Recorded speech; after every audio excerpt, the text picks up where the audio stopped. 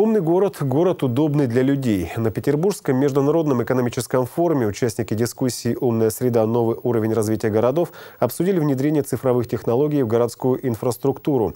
По мнению экспертов, модернизация городской среды сейчас вышла на новый уровень. Речь идет уже не о простом благоустройстве, а о создании принципиально нового качества жизни за счет использования современных технологий. Улучшение качества городской жизни – эту задачу в своем послании обозначил президент России Владимир Путин. Для достижения поставленных целей регионам необходимо внедрять инновации. Цифровизация городов станет новым этапом федерального проекта формирования комфортной городской среды. Он основан на пяти принципах – вовлечение в процессы принятия городских решений людей, новой градостроительной политики и инфраструктуре, внедрение искусственного интеллекта. Все технологии, безусловно, сокращают количество рабочих, рабочих рук на предприятиях и так далее. И этому нельзя препятствовать, иначе мы здесь будем неконкурентоспособными. Но нам нужно активно стимулировать и развивать экономику сервиса в наших городах. Вот у нас есть мнение некоторых коллег, что новые технологии, так как это ведет к определенному сокращению людей на предприятиях, мы будем их медленно внедрять, тормозить.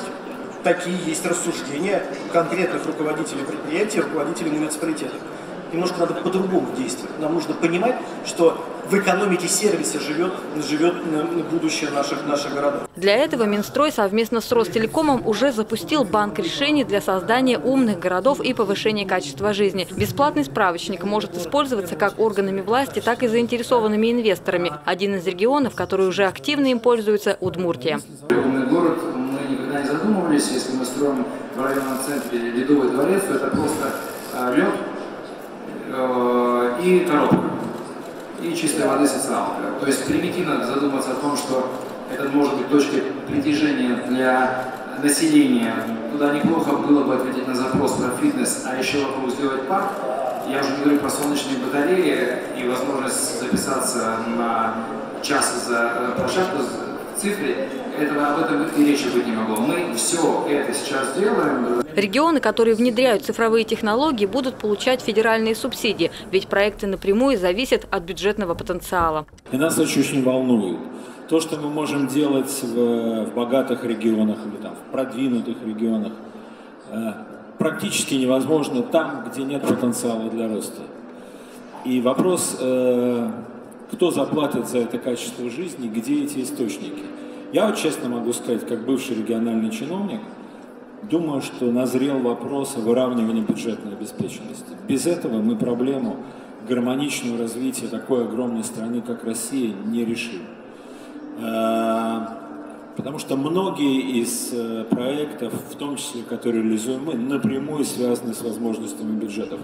В качестве примера Михаил Осиевский привел запуск систем умного видеонаблюдения и дистанционного сбора информации с приборов учета в домах и квартирах «Умные шлагбаумы». И это только начало. Дальше планируется опираться на зарубежный опыт. Так, например, в Турине уже давно формируют маршруты движения общественного транспорта, отслеживая передвижение людей по смартфонам. По мнению главы Ненецкого округа Александра Цибульского, успешные практики и проекты, которые уже зарекомендовали себя в крупных городах, необходимо использовать в других регионах.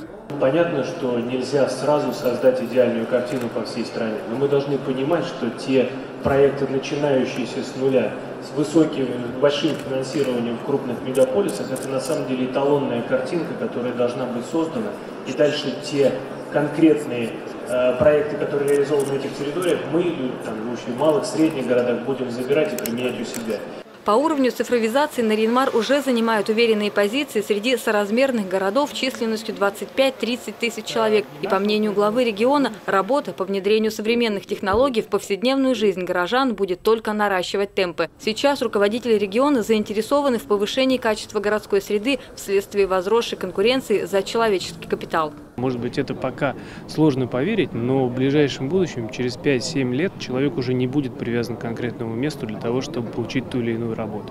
Большая часть работы переходит постепенно в дистанционный режим. И на самом деле сейчас развернется огромная борьба и конкуренция именно за лучших, наиболее талантливых людей. И они останутся жить там, где они получат наиболее комфортные и э, хорошие для себя условия жизни. И наша задача сделать в нашем городе, который небольшой по размеру, от того, с точки зрения инвестиций, нам это сделать проще, чем в других городах, сделать город, который будет комфортный для жизни тех людей, которые там родились, которые там выросли, которые любят и, э, любят и ценят нашу северную землю, наш климат и так далее. Радикально улучшить качество городской жизни в России можно будет уже в ближайшие шесть лет, отмечают эксперты. Это произойдет за счет взрывного роста технологий и изменений в российских городах.